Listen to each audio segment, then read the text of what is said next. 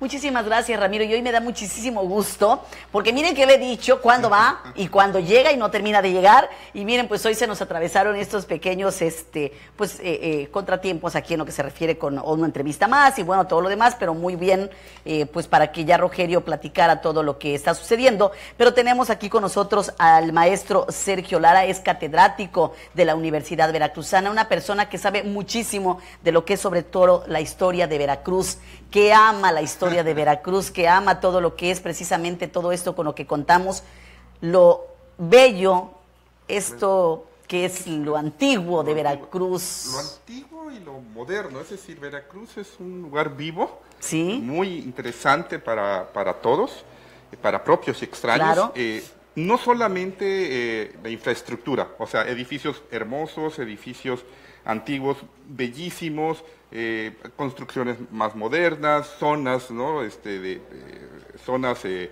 eh, de playa, pero también la gente, ¿no? Eh, Esta, esta viveza todavía que tenemos, a pesar de todo lo que nos está pasando con inseguridad, de cuestiones de problemas económicos, todavía se conservan el rasgo del veracruzano que para mucha gente eso es hermosísimo. ¿A qué me refiero? Pues al hecho de que recibimos al que es de fuera, no, no necesariamente el turista, que esto quede claro, sino al Claro. que viene de fuera, lo recibimos con, con una sonrisa franca, con ah, comida. Pues es lo que caracteriza a Veracruz, ¿no? Y, y en general, pues todo, todo nuestro estado, eh, eh, no solamente el puerto, todo, todo el estado de Veracruz eh, tiene lugares hermosos, zonas arqueológicas, eh, eh, eh, pueblos mágicos, este, tenemos Tlacotalpan. Ay, lindísimo, claro que acabamos de pasar las fiestas. Las fiestas, exactamente, nosotros tuvimos... Vienen las de Alvarado. Vienen las de Alvarado. es decir, sí, ahorita en mayo, por ejemplo, las cruces de mayo. Así que es. Este, y pues estamos todo el año, todo el año de fiestas en el estado. Pero hay algo, este maestro, que sí quisiéramos eh, recalcar aquí. Veracruz es bello, tiene precisamente todos estos edificios históricos. El problema está que, mire, las condiciones, estamos viéndolos en pantalla, las condiciones en que se encuentran muchos de estos inmuebles, que pues... eh, es la historia que tenemos de Veracruz, es lo que muchos quisieran venir a ver, como vamos a los pueblos mágicos, Claro. por ir a ver toda esa eh, eh, eh, que existe de majestuosidad. Y Veracruz tiene un centro histórico tan hermoso, pero ¿qué está pasando? Creo que aquí volvemos a, a la situación, ¿no? Este, de cuáles son las políticas que, vamos, ahorita estamos en, en plenas campañas electorales y no oímos, ¿no? Cuáles son las, las políticas que piensan seguir nuestros candidatos a la presidencia sobre la cultura. Claro. Eh, lo mismo pasa con los, eh, los candidatos a gobernador, lo mismo pasa con los presidentes municipales. En el caso específico del puerto de Veracruz, desde hace ya muchos años estamos perdidos acerca de qué es lo que queremos hacer con el centro histórico. ¿Realmente se quiere mantener este centro histórico? Hace muchísimos años la difunta doctora Ida Rodríguez Prampolini, que fue fundadora del, del, del IBEC, decía, ¿qué es lo que ustedes quieren? O sea, ¿qué se quiere de Veracruz? Eh, al turismo, lo traemos al turismo y ¿qué le vamos a ofrecer? ¿Playas nada más? Eh, este centro histórico se nos está cayendo a, a- a- a pedazos y esto era en los ochentas. Entonces te podrás imaginar que desde los ochentas para acá poco se ha, ca- ha cambiado esta, esta situación. Eh, la infraestructura del centro histórico está muy mal. ¿no? Hay todo un proyecto, pero tampoco queda claro hacia dónde queremos ir con este proyecto. Eh, vemos otros, este, otras ciudades que han podido, Querétaro, por ejemplo, que pudo rescatar su centro histórico, eh, eh, Guanajuato, que viven del turismo, un turismo que, que obviamente no hay playa, sino que vamos a, este, a conocer edificios, vamos a conocer este, eh, infraestructura cultural. Eso es lo que nosotros tenemos. O deberíamos de tener. Tenemos tan, tan solo en, el en la ciudad de Veracruz un solo teatro, o dos, Dos. dos, el, el Reforma Ref- y el. Clavijero. Para una ciudad tan grande como es Veracruz, solamente dos teatros. ¿Y cómo acceden las personas que quieren hacer teatro a estas ins- instalaciones? Ese es el problema, ¿no? Y e- así como pasa con el teatro, pasa con la música, pasa con las este, manifestaciones de artes plásticas, que sí, por ejemplo, tenemos el IBEC, pero también habrá que ver, y hay que decirlo, a veces hacen hasta lo imposible los compañeros del IBEC por tener una, eh, mantener una oferta cultural a nuestros, este, al público pero el turismo llega y no sabe nada de esto. ¿no? Fíjese, fíjese que hay algo, digo, no es criticar tampoco a los que están en diversos lugares, pero poco nos enteramos de que hay diversas eh, actividades en todos estos centros culturales. No sé qué está pasando, maestro. A ver, usted que también es experto en esto de la comunicación y la difusión. ¿Qué pasa, maestro? Porque eh, de buenas a primeras ya nos enteramos de que hubo tal obra de teatro. Oh, nunca me enteré hubo este, tal representación, hubo tal, este, eh, eh, por ejemplo, eh, exposición, y no sabemos. Exacto. Yo ahí creo que, mira, por ejemplo, yo trabajé ah, hace muchos años en el Instituto Veracruzano de Cultura. Teníamos un departamento de prensa que se encargaba ¿no? de enviar los, los boletines, etcétera. esta, esta, situación también tiene que ver con los medios locales. ¿Qué es lo que, qué es lo que queremos? ¿no? O sea, por ejemplo, toda esta avalancha de información que tenemos todos los días, de, desgraciadamente no tan buenas, de inseguridad, de muertos, de secuestros, de problemas políticos, y a veces el espacio que se le puede dar a, difundir estos, estos este, eventos, pues queda marginados, ¿no? Entonces, creo que ahí también deberíamos apoyar los medios de comunicación a estas instituciones que sí tienen muchísimos eventos. A mí me, incluso como saben que tengo muchos alumnos, después me envían a mí y yo este, comparto. Pues este, yo les soy honesta, tenemos un medio de comunicación y no he visto que se comuniquen con nosotros como para decirnos, oye, este, digo, no me da pena porque tampoco es el hecho de que, ay, pues no les hacen caso, no, es que ellos deben de estar atentos a dónde están realmente esos medios de comunicación que pueden dar a conocer todos estos eventos. Tenemos un público cautivo ya que está teniendo eh, información, que quiere información, tenemos ese público que gusta también de todo ese tipo de situaciones, maestro.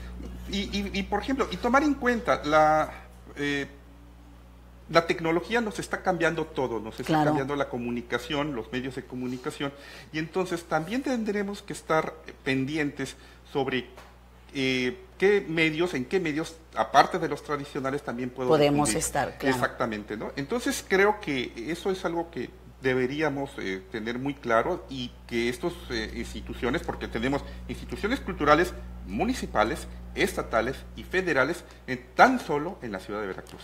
Así es. Entonces, y, debe haber una gran oferta cultural aquí en esta ciudad y bueno, poco se sabe qué hace el INA, qué hace el IBE, qué hace el ayuntamiento, qué hace el ayuntamiento de Veracruz, de Boca del Río con respecto a, los eventos culturales, ¿no? a, la, oferta cultural. La Que yo creo que muchas personas quieren saberlo precisamente porque de esa manera pues tienes un espacio donde llevar a tus hijos, donde ir. Hay muchas personas, adultos mayores, que gustan de todo este tipo de, eventos culturales y que muchas veces no los conocen, maestro. Así es. Y, vuelvo al, problema de la infraestructura de la ciudad. Por ejemplo, casi eh, la mayoría de los eh, grandes eh, centros de cultura están en el centro histórico este, de aquí de Veracruz. Cuando quieres ir, tienes el problema de los parquímetros, tienes el problema del estacionamiento, tienes el problema, tienes un de inseguridad, dejas tu auto en la calle y estás... Y no sabes si luego los, llegas a encontrar. o los ah, estacionamientos privados que están ahí son muy caros entonces ya no te resulta, o sea, ya es un problema que esto esté, tan centralizado con todos los problemas que el propio centro histórico tiene. Creo que eso es algo que, este, que se tiene que buscar una solución. Hace muchos años habían ya propuesto que, este, que la Avenida Independencia fuera eh, peatonal, como la este, Avenida Madero, Avenida Madero en, ¿cómo se llama? En la Ciudad de México, ¿no? Que quitaron el transporte ahí, es un paso peatonal. Pues es que definitivamente cuando vas caminando por Independencia quieres ir viendo todos los comercios, ¿no? Es algo que yo creo que estaría muy bien, ¿verdad, maestro? Pues eh, fue una propuesta ya desde los 80s, 90s. Eh, obviamente los, eh, ¿cómo se llama? Los, pues los que tienen negocios ahí dijeron que no, que no iba a ser resultar efectivo. Y yo, bueno, he ido varias veces a la Ciudad de México y la calle Madero, es un río de gente, todas las tiendas y restaurantes que están ahí, cafeterías y todo, están llenísimos, porque la gente, algo que acabas de decir que es importantísimo, La gente va viendo, va buscando los edificios, mira este, la, la, fachada, etcétera. Los colores, las formas que tienen. Exacto, entonces, bueno, ya tienes ahí una, y se ha vuelto toda una romería, vamos a decirlo así, la, este, la Avenida Madero, donde también hay espectáculos callejeros, hay este, personas que exponen ahí este, pinturas, lo que sea, y ya hay una vida, ya hay algo más, ¿no? Este, mucho más que tener los automóviles ahí parados en, en horas, en congestionamientos, pitando y generando más calor, más calor para esta, esta, ciudad. Maestro, pues muchas gracias por haber estado con nosotros. Hay muchos temas que hablar con usted, muchísimos. Yo le voy a hacer otra invitación y ojalá y pueda estar usted con nosotros para hablar más en torno a los temas que existen y cómo dar una mayor difusión cultural a lo que es aquí nuestro bello municipio de Veracruz y zona conurbana. Así es. Bueno, y todavía, y puntos circunvecinos. Sí, sí, claro, porque todavía tenemos Medellín, tenemos este, Boca del Río. Que tiene mucha, historia, y mucha tradición. y sobre todo usted cuando me dice que dónde se va a comer sus picaditas o los fines de semana, quiero decirles que el maestro eh, gusta mucho de conocer eh, algunas eh, zonas, algunos pueblos, algunas ciudades en donde la tradición son pues lo que es la alimentación y todo eso que se hace, que las empanaditas en un lugar, que las ¿cómo se llaman? Que se hacen en, ah, que son con las garnachas, las garnachas, el mole, el maestro sabe dónde hay un mole riquísimo. Entonces, pues este, cualquier cosa como que el maestro les puede la, oferta cultural gastronómica de este no, es, linda. realmente impresionante. Así es. Maestro, gracias. No, gracias Muy amable por estar con nosotros el día de hoy. Y le doy muchas gracias a todas las personas. Voy a leerlos rápidamente solamente para saber de quiénes estaban conectados con nosotros. Norma Reina, gracias por tu comentario. Gracias a Juan Carlos Torres. Gracias por el comentario. Emiliano Lozada. Eh, Betty Reicam. Eh, Reina Cruz, Itzi de la Madrid, eh, Liz Guapis, eh, Noel, Nael David, también Yokogu, bueno, pues también nos da su comentario, gracias por tu comentario y gracias por vernos todos los días.